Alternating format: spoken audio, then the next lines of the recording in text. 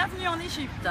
Nous venons en Égypte depuis plusieurs années. Vous pouvez y venir et y séjourner autant que vous voulez, sans, euh, sans aucun souci de sécurité. Vous pouvez profiter de la plage, de la plongée, du soleil et surtout des visites. N'hésitez pas à venir.